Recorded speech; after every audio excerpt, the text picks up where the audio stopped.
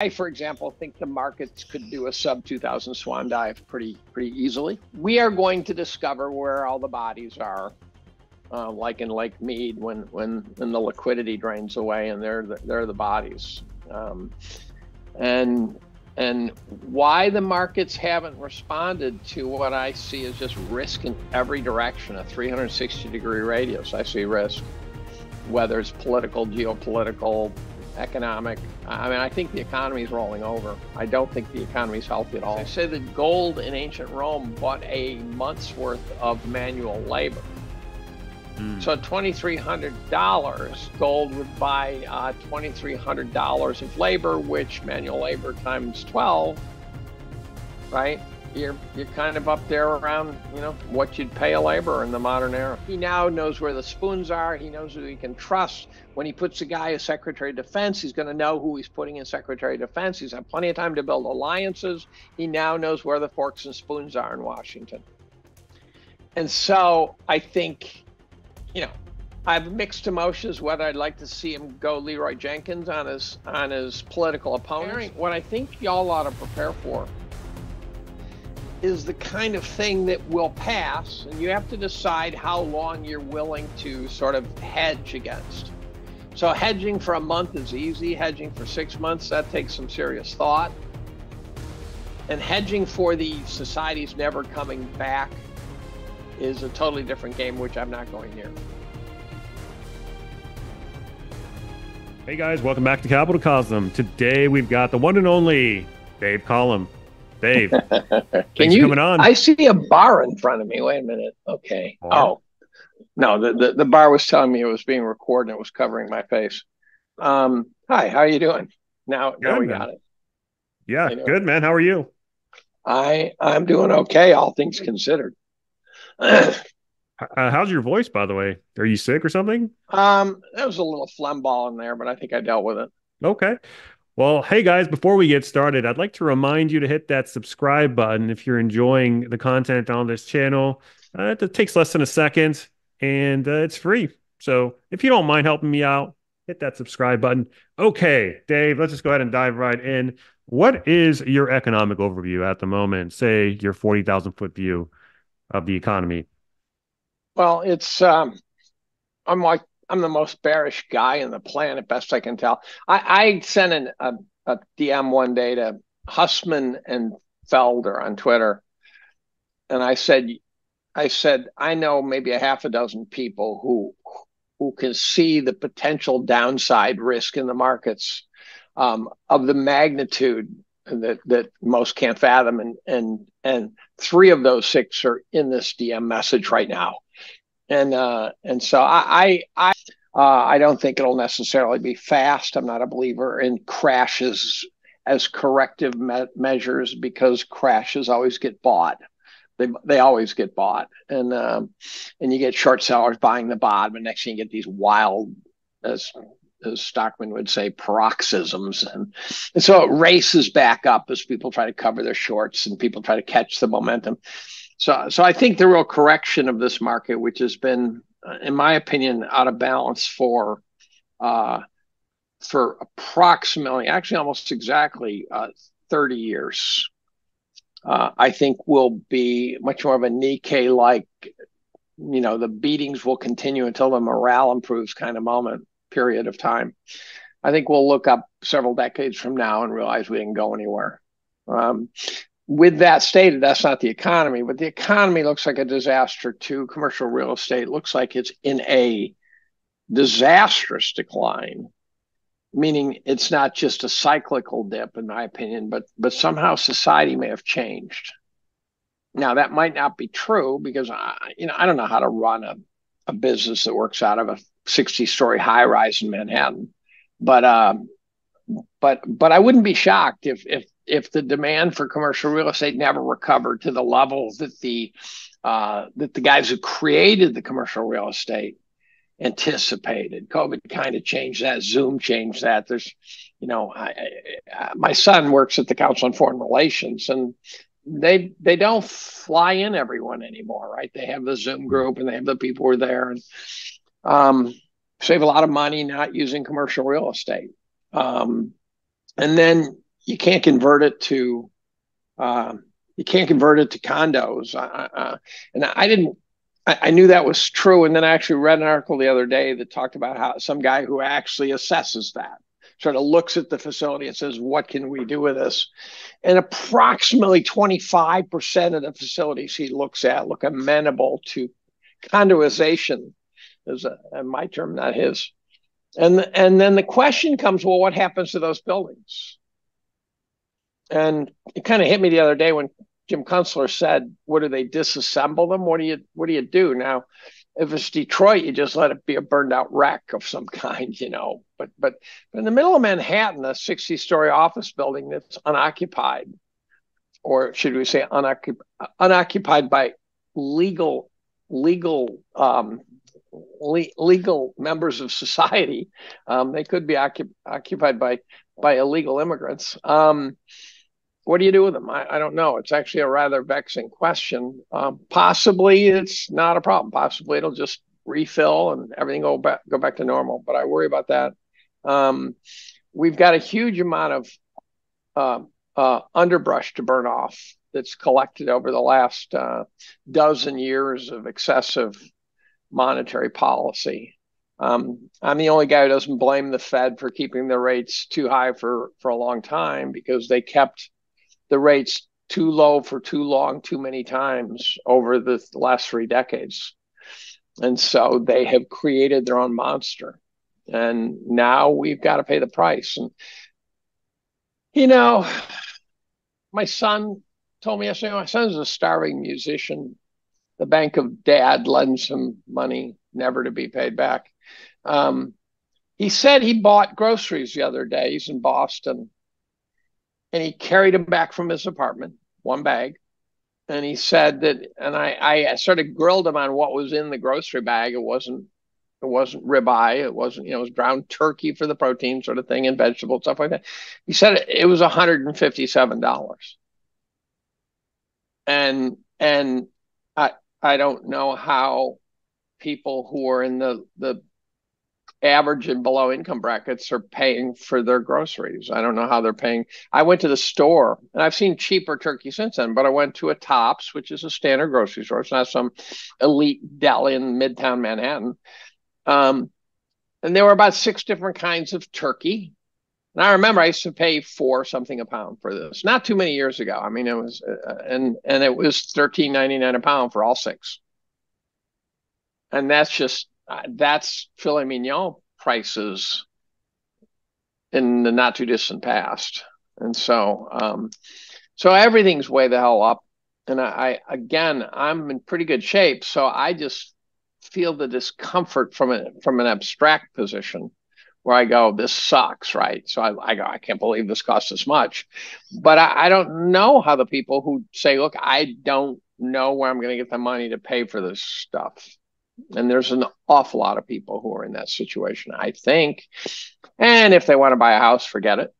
The, the, the, the, the price of owning the same house has roughly doubled if you if you get a mortgage under the new mortgage rates and things like that. And I don't think the Fed should take the rates down. I I I'm in a, a minority of one. I think who thinks that no. I think a I think a five percent Fed funds rate is a pretty credible rate, and the fact that uh, society wants more, I, I don't care. It, it doesn't it doesn't. I I think five percent is a totally reasonable rate to to to lend out money, and. Uh, so they shouldn't bail everything out.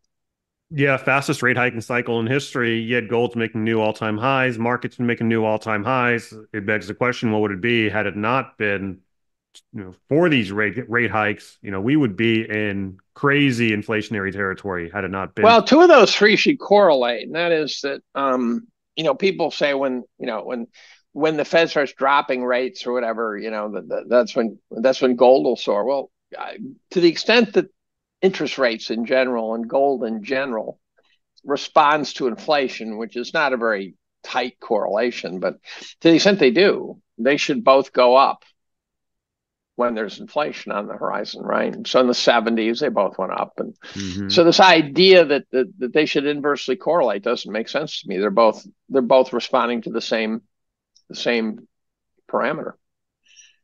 So. Yes. So so higher for longer. That's kind of like the camp that you're in. Uh, so very much actually, so. Yeah. Do you do you actually think that they'll go? No. Uh, they'll actually go along with it though. I think they'll go along with it longer than people think. I think that they're going to go along with it until people are in pain. In fact, again, Powell used the word pain multiple times. There's nothing going on right now that would be described as painful. This is this is not. There's not blood in the streets. There's not. The houses are not on fire. Um, one could argue that underneath the surface, the credit market is probably uh, in a bit of a shambles, is my guess. Um, there's no Doris Dungey to tell us this yet, but but yeah, you get people like Melody Wright talking about the private debt market and what a monster that is. It's unregulated and unmeasurable almost, so people are only guessing how big it is, but it's very big. Um, we are going to discover where all the bodies are. Uh, like in Lake Mead, when when when the liquidity drains away, and they're the, they're the bodies, um, and and why the markets haven't responded to what I see is just risk in every direction, a 360 degree radius. I see risk, whether it's political, geopolitical, economic. I mean, I think the economy is rolling over. I don't think the economy is healthy at all. Um, the the metrics that are big and important enough to to to to commit fraud to make them look good because it's an election year, those those might seem okay. But uh, but if you look at sort of the below the radar kind of metrics where you talk to some guy in pharma and he says, as best I can tell, no pharmaceutical industry is hiring anyone right now. You know, and they're not even supposed to be recession sensitive. And so there, there's there's if you look at ones they're too the, the metrics are too small to rig because there's too many of them of that magnitude. They all say they're rolling over. I was chatting with Steph Pomboy, and she said even the big numbers are getting hard to rig. She says even the obvious ones. You know, they keep doing the you know employment numbers, um, and then doing the revisions from the previous month. And they're dropping like stones, or the, the the original numbers are good, and then the revisions drop. I think Powell probably wants. He, he may want the good numbers to hold up so that he can keep his foot on the brakes longer. I'm not sure he's in a rush to find numbers to justify um, juicing juicing the system. Now, where people are completely clueless, and it's astonishing. It reminds me of this idea of you know economists didn't believe stagflation was possible, and I'm going, wait a minute, so I can buy half as much with my pay with my paycheck, and that's not stagnating for the economy. I mean, that strikes me as insane that they would miss that little detail. But the other one is that if you actually superimpose the Fed funds rate on top of the S and P, which has been done probably ten thousand times on the internet, um, what you find is is that the top is usually marked by the first rate cut. Hmm. The market peaks within a few months of the first rate cut.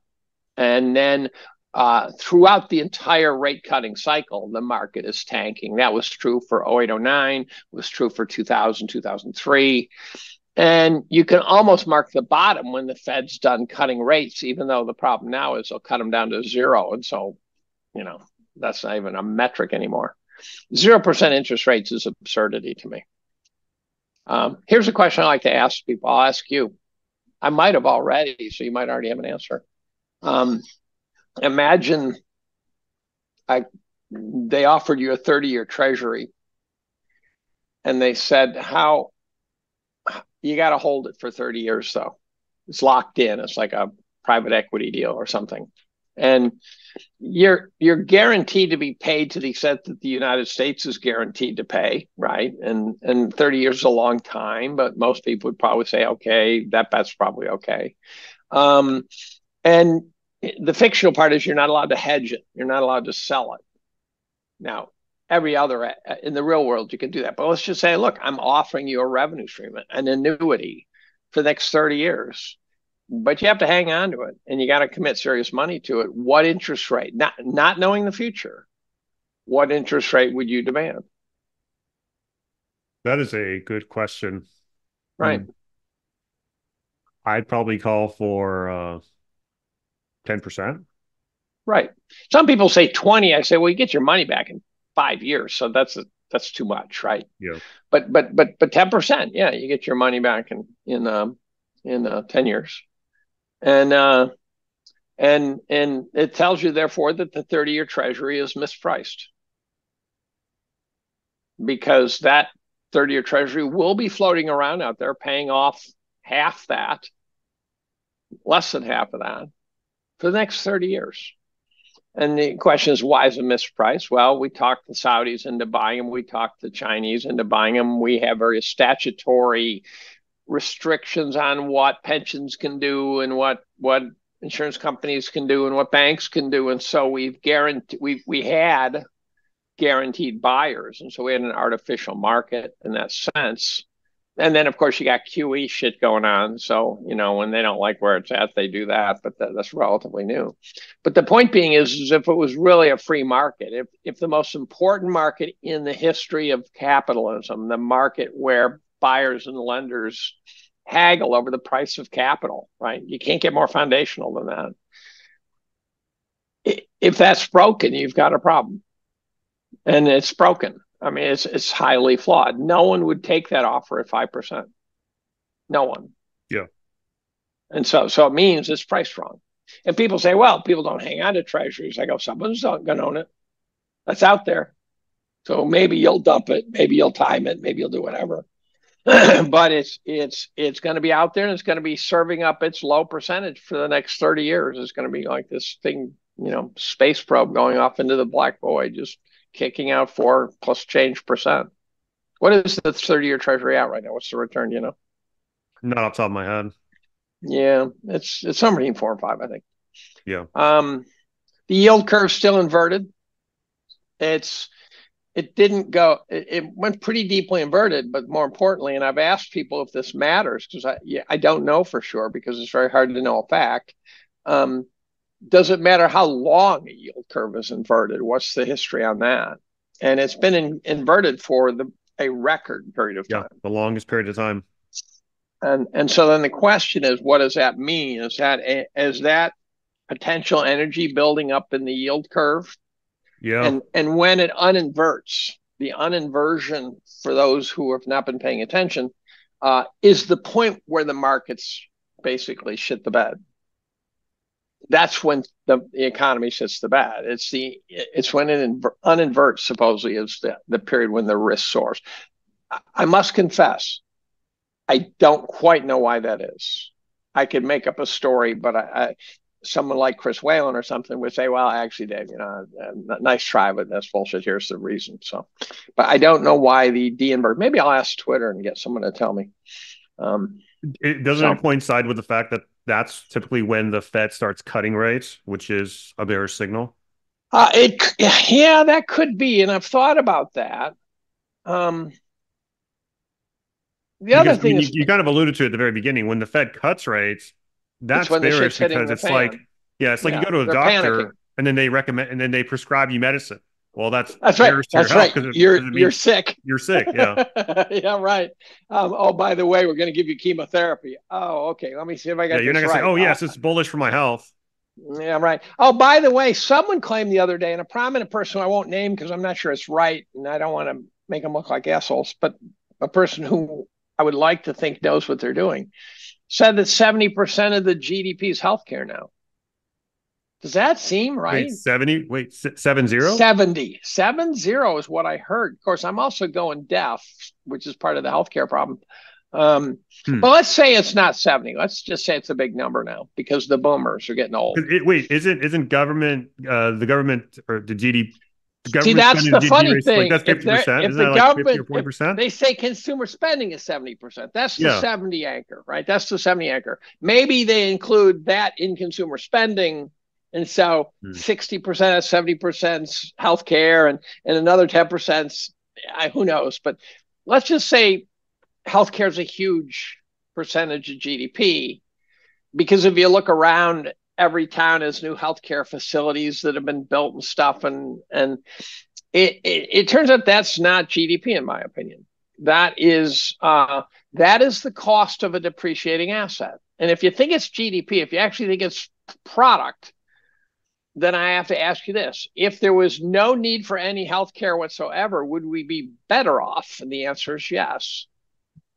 If I said, look, if there were no cars, you'd say, no, we'd be worse off. But if I say there's no health care, if, if, you're all healthy, um, if you own a brand new car, you're better off than if you than if you have a 1980 Corvair and you're dropping 3000 a month to keep it on the road.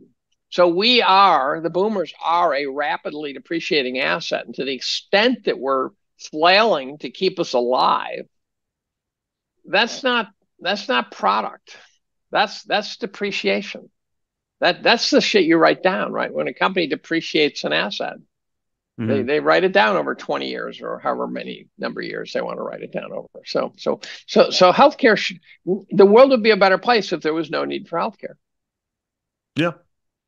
So I don't consider that gross domestic product, which it's a tax. It is a tax on the system.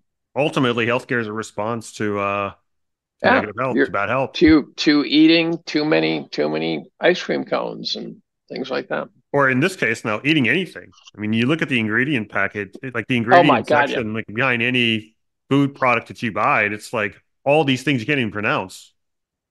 Well, that's all part of, by the way, the inflationary, the hidden inflation. I've been a big fan of hidden inflation. I know even Biden, who clearly doesn't get much anymore, mentioned shrinkflation and he's blaming companies. He says they're doing it to us. Right? You know, what a moron. Everyone knows about. Well, why didn't they do it before then? Like if it was just well, they did like actually. They yeah. did. They did. They but uh, you know the, the, the candy bars and and stuff like that. They they cycle. You get they, they get smaller and smaller and smaller, and then all of a sudden they offer you a big grab bag.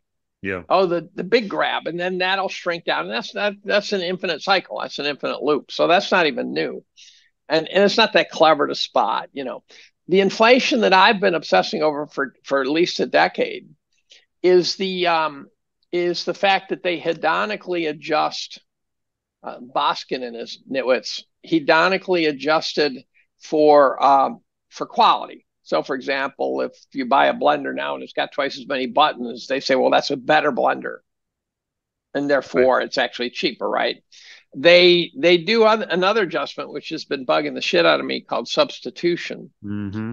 where they say that uh, if you're eating um, if you're eating roast beef sliced roast beef and it gets too expensive you go down to sliced turkey and what they they what what seems to have been overlooked at least i haven't seen it and i think i would have noticed it is that by virtue of the fact that sliced turkey is cheaper than sliced roast beef according to the market pricing of those two goods, the substitution should be precisely offset by a hedonic adjusted inferior product. Yep.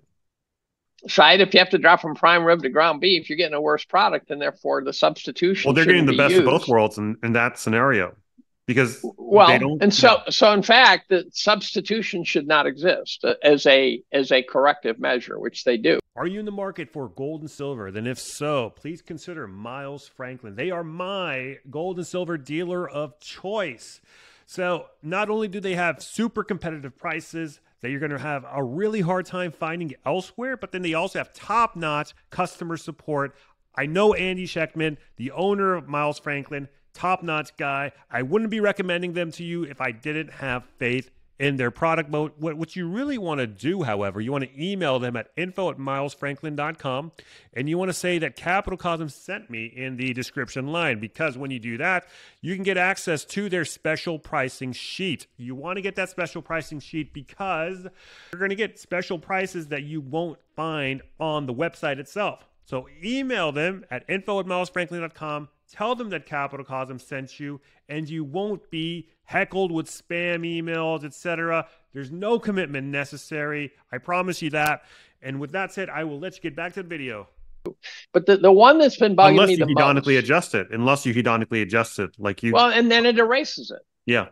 So, the, so the substitution just gets negated by hedonic adjustment.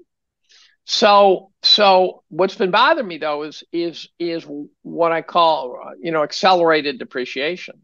So one day I broke a blender. My favorite example, I broke a blender. One of these ones, if you drop it on your foot, you'd be in the ER because you'd have broken bones, right? One of those. And I I broke the glass part, and it's it was probably 40 years old, 50 years old. You buy a modern blender, instead of lasting 50 years, it's going to last five years. And I, I actually did that experiment, and it lasted about three years. And yet, yet the inflation metrics don't include um, the accelerated depreciation of these things. And so, so in theory, let's say it goes from you know lasting 50 years to five years. In theory, that's a, that's a 90% erosion due to inflation, and that's getting missed by the inflation metric. So, when you buy a car and you need to fix it, you no longer can just have the guy you know open up the part and pull out some plastic piece and pull out some pieces to add a new piece. You have to replace the whole unit things are very expensive. They they don't. Some things are unfixable. How many how many electronic devices when they break you fix? And so there's a huge accelerated depreciation, and that is a highly inflationary contribution that never gets counted. As far as I know, maybe the economists are smarter than I think, but in fact, they really should be smarter than I think, since my opinion is pretty low. Is gold an inflation hedge, in your opinion? Uh, long term it is, but it, you know, if, if you're using it as an inflation hedge in the one or two year window, it's not. But gold, gold has, you know, the favorite saying is an ounce of gold buys a, a good suit, but but suits. How do you think about what a good suit is? They say back to ancient Rome, and I go, so I, you're telling me you know how to compare a toga to a three piece suit from Brooks Brothers? What do you? that makes no sense. The one that does make sense is they say that gold in ancient Rome bought a month's worth of manual labor. Mm. So $2,300, gold would buy uh, $2,300 of labor, which manual labor times 12, right? You're, you're kind of up there around, you know, what you'd pay a laborer in the modern era. Interesting. So unskilled labor would, would run about an ounce of gold. Um, in, in that sense, gold, since it started trading in the US again, I think, if I remember correctly, something like seven and a half percent per year compounded. I mean, if you told me, if you said now, I'll give you seven and a half percent return on an investment guaranteed, I'd probably take that as long as I could sell it, right? When I didn't like the idea, but. Yeah. Um, is is gold returning back to a to a settlement currency of sorts as the dollar. You know, the the the position that the Treasury, the U.S. U.S. Treasury once had or currently does have, will that kind of be the role that gold partakes in again? Uh, I don't know. So the battle now seems to be there's like a five way, six way battle. You know, clearly China wants the I don't even know how to say the two words yuan and renminbi they certainly would like to have the the dominant currency. Um, Europeans want the euro. Um, Arabs have at one point suggest they go back to gold, and next thing they know, drones are dropping bombs on them from the sky. Um, That's what happened to Gaddafi too. Yeah, right. The BRICS. Um, yeah, yeah. Don't don't say you're going to go off the dollar standard. The BRICS, I think, are the most interesting risk, and the the BRICS went from four countries of considerable consequence um, to now they're saying 30 ish. And they don't have a currency yet. And the easiest way for them to, to create a currency would just say, let's go with gold, right? Because it already exists. So we'll, we'll exploit that, right? Um, why, why invent a new one when we can just do a gold backed whatever? Um, more important in the BRICS story, and I, was, I, had a long talk with Steve Hanke one day, who's a currency expert, and and, um, and I said, Steve, Steve, Steve, tell me, the BRICS is not about a currency. The BRICS is about alliances. He said, absolutely. So you've got 30 countries saying we're no longer hanging out with the cool kids over the United States. We're going with Russia, China, India, Brazil, and and there's now 30 countries, including Saudi Arabia, which now we're talking about the Saudis being bad guys. So you can hear the drums of war starting on Saudi Arabia. And I think we're saying, don't don't think about it. You've got the petrodollar. Don't make us come and drop bombs on your head. And um, which I don't think will work, by the way. Um, so if, the, if if if if 30 countries are saying we're going to change our alliances, that's that's that is not to be sneezed at. Uh, that's a serious problem. And um, and so that could be a currency. You know, there could be there could be a currency emerging from that ooze. Um, and nobody seems to know. Everyone has an opinion, and no one seems to know how much gold China has. Now, China, some say they they store their gold like I store my fish. I I live on a lake, and I I store them in the lake. Um, China says that you know their gold is owned by their citizens. So China supposedly has encouraged citizens. What's also true, though, is no one knows, no one seems to know what the official China gold reserves are. But if China and Russia and India and these guys are buying up gold as fast as it can be produced without perturbing the price too much, one sense that maybe they're saying, look, if we do this sort of quietly, we'll we'll get more gold per per unit of paper currency. Um, one could even imagine the occasional smash and grab on the metal being China trying to reset the price for themselves, something like that. But but at some point, all of a sudden, gold could become the the, the world reserve currency because China, Russia, and 28 other countries say it is. How fast and could something so, like that happen, though? I don't know. I'm, that's so far outside my skill set. Let's go ahead and shift know. over to geopol- geopolitics then. What's kind of like your overview of the geopolitical makeup? Uh, it's kind of uh, to kind of put something to the forefront, uh, Poland today uh, s- sent out a, or I think their minister of defense sent out a press release saying that Poland needs to be ready for full armed conflict with Russia. And yeah, Poland's uh, a problem. A couple of weeks ago, the Serbian president says, um, as crazy as this may sound, but prepare for World War III in two to three months. Right. I, that's that's more reasonable because they haven't actually pointed to the bad guy. Pol- Poland, um, guys like Sikorski, who has a lot of pull over there, um, they're dangerous. They're sort of they're sort of Europe's neocons, I think. Um, whereas Viktor Orban of Hungary is hanging on by his nails, trying to keep Hungary from getting sucked into all these bad ideas. So uh, I'm a big Viktor Orban fan. Um, I'm a Meloni fan. I'm a I'm probably a Marine Le Pen fan. I really don't know her as much. I might have just said I endorsed Adolf Hitler by mistake, but uh, I don't know her enough to know if I just did. I put out a tweet this morning, by the way, that clicked. I don't know why it, it, took this long. You know how an idea moves from your head to your gut, and all of a sudden you just have it. You go, oh, oh, oh. Yeah. I realized that that the Democrats who are using all this hyperbolic language about the true catastrophe of Trump becoming president. And the hyperbole is ridiculous because, well, for starters, um, he was president for four years already and he, he didn't destroy anything, right? Um, maybe he will this time, but you know, maybe Biden will this time too. So you just don't know. Um, I'd bet on Biden. Um, but but if they really believe that he was the next Adolf Hitler and that this is the end of democracy if he gets reelected, they could go with Kennedy and they won't. So it means they're lying sacks of garbage. They're liars, the pundits, the thought leaders, the cultists who have Trump derangement syndrome. They're just liars. Kennedy's sitting right in front of them. Kennedy could beat Trump.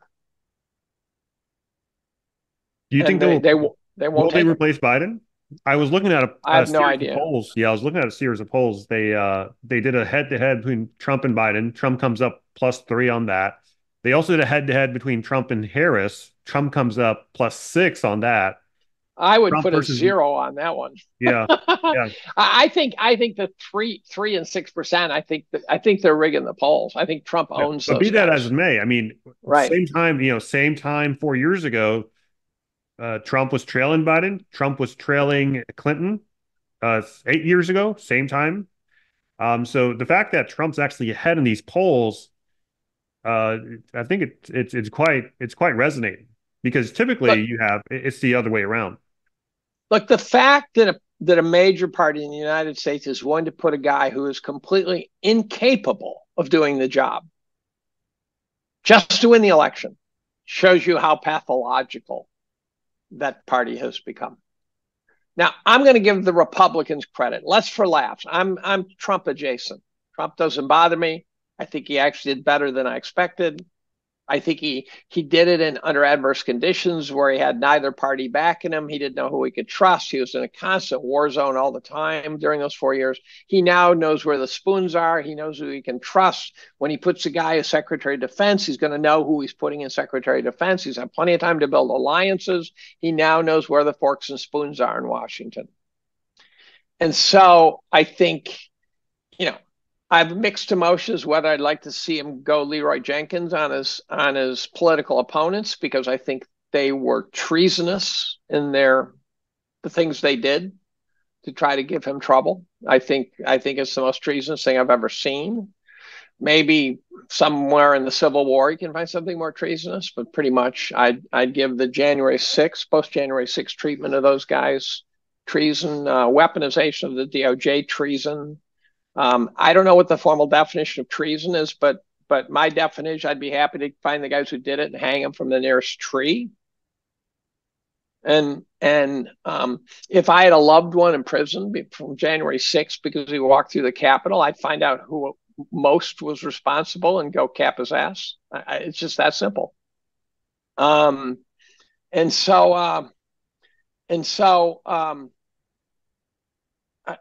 so so so I, I do want to see Trump. But but but if if they really thought that Trump was a problem and this wasn't just some game, they would put Kennedy in there because he can do it.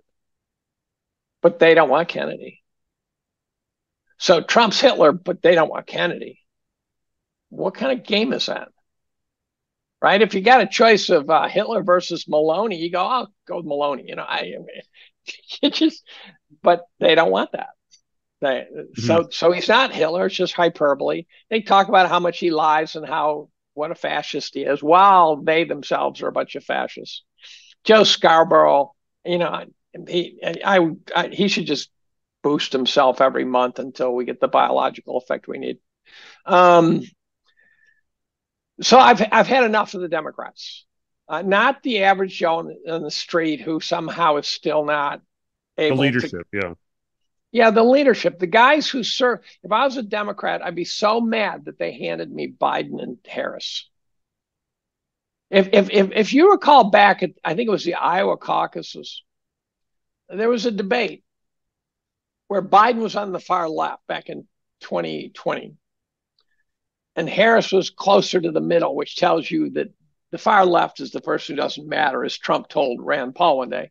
Um, and and and then Tulsi Gabbard in two minutes brought Kamala Harris to her knees with a with a with a, a withering attack. And Biden was on the far left and uh, looking like he's there just to make it look like there's an, an adult somewhere in the room, right? Because he gets like Beto and just crazies. If you had said, what are the odds of a Biden Harris administration, would have been one in a thousand the two biggest losers on that stage somehow ended up in office, which shows you that there, there's something wrong. There's something fundamentally wrong. So if I were a Democrat, I'd be so mad that they didn't figure out how to find some leadership. And, you know, I, I didn't like some things that Obama did, but I didn't hate Obama. I didn't like his foreign policy. But I'm reading Scott Horton's book right now, and Horton tells a horror story of U.S. foreign policy. It's just a horror story, and it's called Enough Already. I, I, realized I did a podcast with Scott back in 2018. I'd forgotten about it, but um, but but he in his book he describes both Trump and Biden um, and um, Obama basically getting bullied by the by the Hawks into capitulating. They they tried not not to do the bad shit they did. And I don't remember Trump doing a lot of bad shit, but he he he continued with shit that he could have stopped. Um, if Trump gets in office, day one, I want to see the January 6th guys, all of them get pardoned. Day two, I want to see him announce that there's no more money going to Ukraine ever again until that until they find a way to sit at the table with Putin and solve this problem. Um, uh, and then day three, you know, deal with the Department of Ed- Education and get rid of all the socialists in there. So there's there's this, and, and day four, start building a wall. How how does a an economy look like between a Trump and a Biden presidency? Like, how does a Trump economy look like 2025 and beyond? And a Trump. Um, and a Trump I Fed? think it's going to be a tough economy for both. I think the president's a victim of circumstance on the economy. Hmm. I, I mean, Trump could blow it as badly as Biden because of his narcissism and his desire to use the the tools of finance to pump pump and dump shit. So that's the part of Trump I liked the least when he was president was the fact that he was always pushing and pushing and pushing to keep the stock market going up. That that just I, that bothered me a lot. What about so, from a what about from a geopolitical front? Do you think he'd actually be better for you know to, at preventing wars? Um, you did see. Oh yeah. Oh yes. Oh yes. Yeah. So oh you, yes. You see this bill pass a couple of weeks ago, um, call, uh, making it automatic to enlist in the draft for 18 to 26 year olds. Um, and they've actually that that that women, actually women just too. Well, I think it should be women.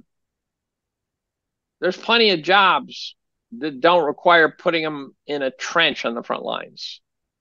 So one of the things Giuliani did when he was mayor of New York is he got the cops out from behind desks and put clericals behind the desk, got the cops to the street. So in theory, um, and I'm trying not to be a sexist, but let's just say there's things women are just not as well suited for. Um, there are plenty of jobs they're well suited for. So draft them, right? You don't have to put them. You don't have to put them on the front line, and and so much war is going to be fought, you know, remotely and weird stuff, and they can do that. So the, the thing that they maybe not as good as maybe I don't know, you know, thirty mile marches and who knows, and and maybe they are as good, but you know they're not going to carry a body off the battlefield as well, things like that. And mm-hmm. so, and my big fear, by the way, is women on the front lines. My big fear is that I think guys are hardwired biologically to save the women and children. Right. That's that's men, kind of men in our behave differently when there's women involved. In... That's right. That's right. So just watch what young men do when women are on the scene. They act like idiots. And I would fear that um, that reckless behavior would ensue instead of well reasoned behavior because there's some woman who needs saving.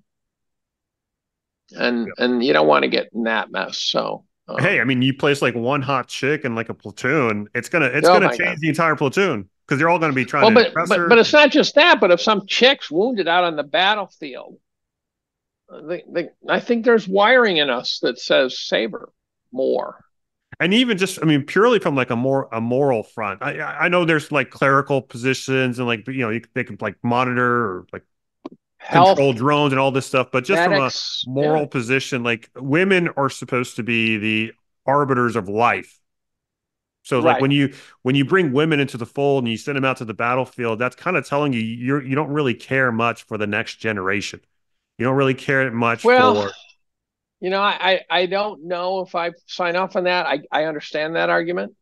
And uh but I, I there's plenty of jobs to be done. Right? There's plenty of jobs to be done. So why not? And by the way, if we start drafting daughters, that war will end faster. You'll have a yeah, you'll have a real anti-war movement for once in this country. Yeah. that happens. Yeah. Yeah, no deferments. Get rid of deferments while you're at it. You know, when, when Sherman marched on Atlanta, he wasn't an SOB. He realized that he to end that war, he had to bring the war to the South. He had to bring the reality of the war to the South. And and and so he did. And and and and and then then all of a sudden it's like, holy shit. My big my big fear um getting a call from a money manager actually my big fear is that we are going to end up in some situation that we've not witnessed before where where we are suffering it's i i was watching a sci-fi movie the other night and a comet was heading for the earth existential risk right it was breaking to pieces and dropping debris on everyone. They're scrambling and cars are blowing up, the usual thing. And I realized that's what Ukraine and Gaza looks like right now. And then I realized that we as a nation, if you go back to the Civil War, along the battlefront, we witnessed that. But we as a nation have never, we've not witnessed mass starvation. Yeah, we've not, skin the game. we've not. I was, I, I saw. I, am addicted to photo montages. One of those things, the, the clickbait where it says, you know, 40 pictures showing the realities of war was the thing, and I clicked on it. And it was pictures of guys laying in trenches and doing stuff in the dead cold winter, Russian winter. Going, never, ever, ever would I want to find myself laying in the snow in the Russian winter fighting off some foe. I, I'm not tough enough for that. I don't have it in me and and and and that's why, by the way, don't go to war with Russia. They are tough. Those are the guys who can down a quart of vodka and stumble home, and uh, and so um, so I, I worry that the U.S. is long overdue to get a dose of reality and say this is what suffering can look like. So the best way I posted a tweet yesterday uh, do you do Twitter much? I don't. I've never noticed. Do you do Twitter uh, much? I have a small presence there. I just post my videos on there for the most part. Yeah, I am um, on Twitter, guys. At CapitalCosm. Go ahead. Exactly. Don't follow me. I got too many. Um, I I, I posted a tweet. Um, what the fuck was it? What the fuck was it? I had a point here, and I want to I want to find that thing. I posted a tweet in which um it's one of those tweets where you don't know what's about to happen. And all of a sudden I had like hundreds and hundreds of new followers. Um, hundreds and hundreds of new followers. Um, and I didn't understand what had happened. Oh, hmm. yeah, I posted a tweet in which I said just had a long chat with one of the most prominent bear market money managers from the dot com era. Okay. Now it turns out it was David Tice, and and David, who said I could mention anything he said, and he said I'm I'm getting out of the country. Now, to calibrate you, he actually is a a founder and presumably part owner of a prepper community where it's all wired up, ready to go, off the grid, supplies, Navy SEALs on staff, you know, that sort of thing and he's now decided he's not going to his prepper community. He's going off. He's leaving the country. Where, where's he he's, going? Well, he's not sure yet. He actually scouted out part of South America, and he said no. He, went to Argentina because people say, "I'll go to Argentina." He said it's just a shithole. I mean, he didn't use that word, but it, he talked about how he went to get cash out of the cash machine, and they gave him enough pesos that when he went to spend them, there was enough to get an Uber to the next destination. He said, that's all I could get on a cash machine with my ATM card. And um, so I think he's looking at New Zealand, which, you know, bucktooth neo Nazi lady is now not in power, but it's scary that she ran, you know, Ardern ran New Zealand for a while. So you had said, if you're going to leave the US, where would you go?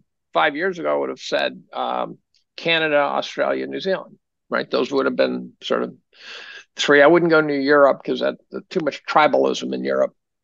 Um, and then COVID shows up, and that's where that's where the the the authoritarianism ran rampant. And I go, okay, that that just took the fun out of it. I think Canada's okay. I think if you got rid of um, Trudeau and Chrystia Freeland, who I think is a junkie actually. Um, did you ever watch her? I think she's a speed freak. Free, uh, Freeland? Yeah, yeah. She's she looks. You ever seen the videos of Adolf Hitler Oh yeah, yeah, yeah, yeah. I've seen yeah, her, she, I've seen her during the um the trucker protests. Like she was not. I mean, she, she, she sits there and she's just wiggly, and you sit there and you go, "There's something wrong with that lady." Uh, she's also a, a total sort of Ukrainian Nazi by birth and by actions and stuff like that. Uh, totally World Economic Forum material. Everything's wrong with her. She's Victoria Nuland of Canada. Young global leader. And, yeah. Yeah, yeah, yeah. Uh, she's worse than Trudeau because Trudeau's just clueless. So if you got rid of those two, Canada would pretty much go back to hockey and Molson beer. Um, and, that, and then Canada would be a great place to go. I used to go up there fishing. I'd be fine to live up there. But, um, but what is he? What is he running from? Like exactly? Is it civil unrest? Like, well, and he wasn't clear. I. It was more of this this sense that the whole fucking thing is going to go south, and I he I didn't I didn't drag that out of him. It's it's you know when I do these podcasts, we often go through all the all the risks, and by the time you're done, you're going, oh, this is just a shit show that can't end well and so it's it's it's a death by a thousand cuts, and you go, I'm I'm I'm leaving before I get the thousand cuts. I think I think it's kind of, but but he made a documentary with Dennis Quaid, um, called Grid Down. Oh Dennis yeah, yeah. Was, I, I yeah, Dennis was in it. Yeah. yeah, so David Tice started that thing and hired Dennis, I think, to make it. And David used to run the Prudent Bear funds, so I've known him ever so slightly through the Prudent Bear Fund for 25 years and then I've gotten to know much better. We've spent some serious hours together at financial meetings and stuff that he shows up to. And um, and his second in command, a guy named Doug Nolan, I've had over for dinner and things like that. So I, I know the Bears. I, I know the Bears. Um, and I, I, there's just something has got them spooked. And and and I posted and I got 2,500 likes. I go, what just happened? All I said was some unnamed guy ran for is running for the hills, right? And and there were people who said, "Oh yeah, that's bullshit. There's no content in that tweet." And I go, "Well, I, I was really just I don't know if you noticed, but I just tend to post thoughts. I get a thought. Someone said I'm like Andy Rooney or something, so I just posted a thought, right? It was just a thought, and uh, you know, I expected 50 or 60 likes. People saying, "Oh, where's he going?" You know, things like that. Uh, and it just went wild. I had one tweet that went to I don't know 35,000 or something. I didn't know that was coming. Then there's the guy who tweeted a picture of the shark coming out of the water looking mean. And he says a rare photograph of a shark stepping on a Lego and it got a quarter of a million likes. You never know. Hawk Tuah girl, right? Hawk Tuah girl's making a ton of money now because of her Hawk Tuah, right? If she can make that work, she's going to be like um, uh, that chick from Dr. Phil's show that that um, that said "Cash me on the outside." She was the one. Who yeah, was, I think she's making like thirty thousand dollars per appearance for like private. Yeah, she's making like a fortune, and I don't know whether that was teed up at the start or she just was able to exploit opportunity. But um, I have literally made zero cents from my fame and fortune on the internet. Um, well, we got to open you up a YouTube channel or, or a Rumble channel, Dave. And just have. I don't think I'd be a good host, though. I don't think I'd be a good host. Or just like just uh you know Dave's rants where you just go in and just be uh just have at it for like an hour or so every week or every day or something, whatever you're comfortable with. Right, like Andy Rooney. Yeah. Yeah, Paul Harvey. Now there was a guy who knew how to put together a story. Right. Mm-hmm. There's there's some classics. There's some classics. But but what about you, Dave? What about you? Are you going to leave the country? No. Too hard. Too much work. If if you know if if we do have a serious problem like the grid goes down, it's only going to take a week for marauders to start wreaking total havoc. I mean, the, the thin veneer of civilization's going to peel away so quickly that you're not gonna you're not gonna know what hits you. Yeah. And so I I think I think everyone ought to be a prepper. I think there ought to be, it's a matter of degree. So if you're living in an apartment, good luck. You don't have the storage. But if you, if you own a house, you got the storage space. To me, it is inexcusable not to have a couple hundred pounds of rice, a couple of containers of Morton salt. You can even take rock salt for your driveway and just bag of that. But you cook the rice and have it taste okay you know, buy a couple of things of bouillon or whatever, you know.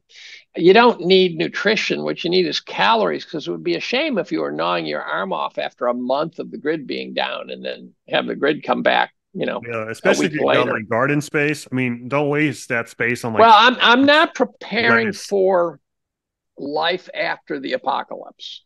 I'm pre- okay. what I'm preparing, what I think y'all ought to prepare for is the kind of thing that will pass, and you have to decide how long you're willing to sort of hedge against. So, hedging for a month is easy, hedging for six months, that takes some serious thought. And hedging for the society's never coming back is a totally different game, which I'm not going near. Right. Um, I've got um, probably enough medications that my wife and I can off ourselves. Say, no, yeah, I mean, after done. like a certain point, you just got to face your fate. You can't. I, I do not want to be, you know, the like these famous. I talk about the suffering, you know, the siege of Stalingrad, where there's pictures of people walking down the street, and there's just bodies in the street. I, I don't want to be there. I just that's that's. I have a dotted line. I say below this dotted line, life's just not that precious to me. I, I've I'm hmm. 69 years old. You know, I've I probably, you know, got laid for the last time, you know. I I you know, ask any 69 year old guy, say, yeah, when you, I, some guy said, they said, when did you have sex last? He said, Tuesday. And then he says, March 3rd. He says, 2002. so, so, you know, there's so just. the last time you got laid was on your 69th birthday, right? Yeah, don't, don't, don't even go there. Um, and, and so there's just, there's just, I, I, I have plans for what to do in retirement, but there's there my bucket list is I, have pretty much checked off everything I need to check off. So, um, suffering is not on my bucket list. That's the key. Right. Well, Dave, uh, well, what, what, I've been doing on this show recently is I've been asking each guest to kind of give out like a book or two as a recommendation to the audience. So I'm going to leave the floor to you. Any books that you recommend? Okay, the I give a general answer, and that is if you haven't done them, audiobooks first. Go with audiobooks. Everyone drives somewhere. My wife sends me to the store and back, and I, I don't mind going. She doesn't know why I'm so cooperative. It's because I turn on the car, I turn on the audiobook. And so it's like ask me to read in the solitude of my car where she can't ask me to do other things. Um, with that said, um, depends on the kind of books. I, I read all over the place. Um, if you like history, stuff like that, the the a company called the Teaching Company has trimester length books on every imaginable subject. It's called the Teaching Company. So you search the Teaching Company or the Great Courses series. It's synonymous. I don't know which one they go by officially, but um, they're phenomenal. They're they're university professors who are found and are phenomenal teachers, and they record a, about an 18 CD length book and they used to cost 500 bucks then you get them on sale for 80 bucks and now they're all cost 10 bucks on on on amazon. And so so they're dirt cheap. Um, if for content if people are confused and confounded and demoralized what if you do a little bit of reading you'll discover that is those are the symptoms of rising authoritarianism confusion and demoralization. And and in fact the demoralization as a subset of that is the authorities will gaslight the shit out of you. So we not only have the bad guys doing bad shit, but they're not hiding it. So in some sense, they're trying to tear our souls out through our nose, like the brains of an Egyptian mummy through the, mummy through their nose. And so my advice is to read books about authoritarianism. And then all of a sudden you go, that's what I'm seeing that makes sense to me. And in that context, one of my favorites is um, The True Believer by Eric Hoffer, which I was on a Zoom call with a guy who said, Oh, you got to read it. I did. And he was right. Um, um, the, the Psychology of Totalitarianism by um, Mattias Desmet. Um, um, Hannah Arendt's a tough read, but she writes about the Holocaust and and and I like Michael Malice's The White Pill. I've been hyping that one pretty good. It's about what happened in the Soviet Union. We know 40 million people died under Lenin, Stalin, but you can't fathom how it happened. Malice describes how the Soviet society kind of consumed itself. It's and it's and, and he doesn't overwhelm you with Ruski-ness, right? When I read about the Middle East, by the end, it's just it's just I'm fogged over because I don't. It's too foreign. And I've read so many books in the Middle East, none of them stick. Malice's book is very good, The White Pill. Um, I read Edward Bernays' 1926 or 28, I can't remember which, um, book called Propaganda. And in it, it's really funny. Says politicians have not yet figured out how to use propaganda. I go, well, apparently, apparently they did. They caught on. Um, he later on ended up working for the CIA. And so they caught on. Um, I read a lot of conspiratorial stuff now, like Operation Gladio about the drug trade and who's running it, things like that. And, um, um, uh, stuff like that. Uh, the book Chaos is very good. Um, it's about Charles Manson, and you find out Charles Manson was connected to the MK Ultra program, as was Timothy McVeigh, as was Jack Ruby, as was as was Ted Kaczynski. I think David Berkowitz. Um, a lot of problem children were tied to the MK Ultra program, and I, I I'm fairly convinced now the CIA is just a crime syndicate that has a line as a line item in the U.S. budget, but is somehow a solo operation that just does what it wants. And I think there's guys in there who really care about the United States. I think there's guys in there who just view themselves as part of a global crime syndicate. And they're self funded and they've stolen some estimated $20 trillion that's unaccounted for from the US, from the Pentagon budget.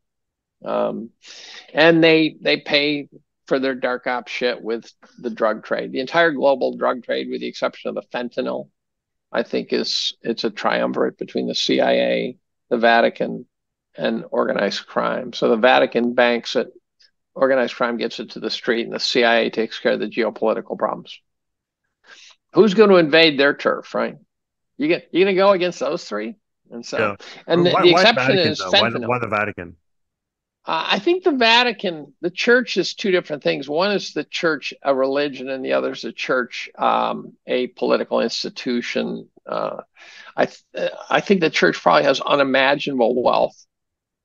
It's been compounding their wealth for 2000 years for 2000 years rich people have died and left all their wealth to the church there's real estate all over ithaca even that that's owned by the catholic church and um, and I think that the Catholic Church, the financial political organization, is every bit as ruthless as any political organization. Gotcha. And, well, well, another thing that I've also implemented is um, I'm going to open the floor to you, Dave, to ask a question to my next guest. So, there's a question you can ask my next guest. What would it be? Who's your next? Who's your next guest? Jay Martin. Jay Martin. First of all, say hi to Jay. I've done a number of podcasts with Jay. Um,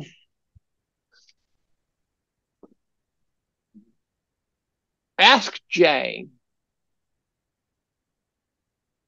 Ask Jay what his what his lower limit for the S and P is in a serious downturn. Where does he have the S and P going to? And then and then after he answers, tell him Collum says below two thousand. Tell him below 2000. Mm, but get his answer first. Okay. Say worst case scenario, how low can the S and P go? I think below 2000 is fair value, historical fair value. Okay. So I actually think that if it really got ugly, it could go 1200. And I think it should go to 2000. I think 2000 will bring us back to normal. It won't feel normal. 2008, 2009 got back to fair value, but not lower. Okay. I'll let him know and, and I'll so, let you know what so he says. Ask him what he says. What's his worst case scenario? Because most people say, oh, 20% correction. I go, you're a pussy. Uh, you know, when these guys say, oh, we could have a 10% correction between now and the end of the year, I go, of course God. we could. We could have a 10% correction by Thursday. What are you talking about? What kind of call is that? And it's not a correction. It's just a, that's just a flutter. Yeah. Correction right now, minimum correction right now, minimum correction would be 50%. And it can't bounce back because then it's not corrected if it bounces back. Right. It's got to go down and stay down. It's like saying, oh, yeah, I lost 300 pounds. Oh, the next year I gained it all back, but it was really good to lose 300 pounds. No, it wasn't. You gained it all back. Yeah. Well, I have so, a question for you, Dave, from my previous guests. I had Joe Brown from Heresy Financial on. I don't know if you know who he is, I, but he had. Yeah. Okay. So he has a question for you. His did question, he know he was asking me, or was this a general yeah. question? No, he okay. he did. He did. So his question was, I would I would ask him in a world of, or at least in a nation of increasing government overreach and tipping over into potential tyranny.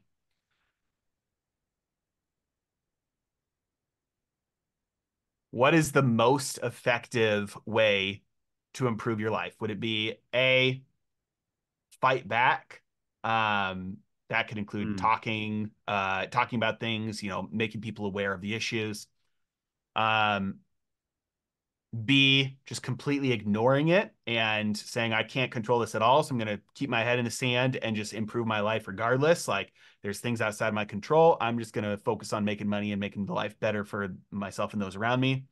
Or is it C, to just exit the system? If you know how bad it is and you disagree with it, go somewhere else that's better. Depends on age. I was once told at Y2K, some guy said, don't do something that requires a disaster to be okay to me, fleeing the country sort of is in that category. You could look up five years. say, I've been living in Argentina. U.S. is fine. I could have been living where I lived before. I had a nice house. What am I doing, right?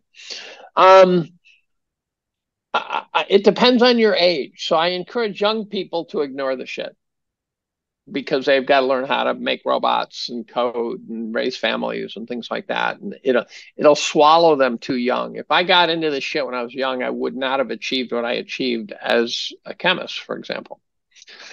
I think, on the other hand, at my age, where the risk, the real risk to me is minimal, absolutely minimal. I saw Gad Saad give a talk at Cornell one day, and he convinced me that although I speak out a lot, that I could do better. And so I think you speak uh, speak truth to power whenever you can. And and that's why I called out the Democratic Party this morning with my use sex of garbage. You could go with Kennedy and you chose not to, right? Uh, that, that, I'm trying to speak truth to power. And that's why I do all the podcasts and stuff. And so uh, everyone can speak truth to power. Um, you don't have to pick a fight that's that's that'll cause you to get hit by gambler's ruin. So if if you if you draw an inside straights all the time, you eventually are going to lose easily. And so you gotta you gotta live to fight another fight. And so if speaking truth to power means you're going to lose your job and your family, don't speak truth to power, right? Save your ammo for for a more winnable fight where the odds are in your favor better but then, you know, as Saad said, you know, talk to friends behind closed doors, chat with them, right? Try to try to get them to ponder whether climate change is real, which I believe it is not, um, beyond just normal. Um, and and try to spread the word sort of one one pixel at a time. Okay. Well, Dave, it's been a pleasure. Where can people find you? under my desk. Um, they can find me on Twitter. I, I do try to answer emails. Um, try not to write long ones. I'm getting a lot of them. Um, and uh, I, my pinned tweet is my year in review, which I write every fall, which is a really cathartic experience, uh, almost to the point of being unpleasant. Um, but otherwise, Twitter. I'm pretty active on. I'm hyper active on Twitter. Actually, I'm a tweet man. Yeah, that last and, uh, tweet got six hundred seven thousand views. So, which tweet was the one you you uh, referred to? Oh, uh, the the oh, it did. Yeah, six hundred thousand views. Oh my god! Yep. What does a view mean on Twitter? I think it's like a five second impression or something like that. So where someone had it open for five seconds or something like Maybe. that. Maybe I don't. I don't know exactly what. That's the the usual criteria that's that's used to, to define but, it. But there's got to be some evidence of like clicking on it or something, or no, no, no. Just just an impression. So just as long as they scrolled past it for some amount of time, where it was. Do they have to stall? Does there have to be evidence that the I don't tweet know. I don't know. I I'm gonna have to look have to like up. talk to the X team about that. I don't I don't know what they what metrics. Yeah, yeah, um, yeah. That tweet was controversial because some people thought I. They said, "Well, you know, that's like telling me your well." Your it sounds like you're getting it. inside information. That's why, because because you're like, I, well, I was just giving on. him an example of a smart yeah. guy who's heading out of town who's just yeah. saying, "I've had it," right? And I, but you kept it vague, like you didn't mention who the person was, so you let people kind right. of like make up their own scenario in their head. Well, the funny one was someone guessed wrong. And I said, someone guessed Fleck, Fleckenstein. And I tagged Fleck on my answer and said, uh, said, no, it's not Bill. Um, and I tagged him. And I said, but if you asked Bill back in the dot com era, who was most often brought on CNBC to beat around and try to embarrass because they were bearish, he would get the guy. And Fleckenstein popped back saying, well, that would be David Tice. And he was dead right. And then Cohodes chimes in, cantankerous rat bastard, and uh, who I really like. Um, he says, "Ah, oh, Tice is a Tice is a lightweight," and, and they just like Chanos, just like Chanos. I'm going, Jesus, Marc, you're just you're such an ornery bastard. he's got a standing offer to join me for dinner on my deck, and he keeps saying he's going to come, but so far so far he's ghosting me. oh, well, that's a shame. We'll end it on that note. So uh, then, Dave. So if you guys enjoyed this content, comment down below. Go, Dave. Go. Go, Dave. Go. Like the video. Subscribe to the channel if you haven't already. And I will see you in the next episode. Bye, y'all.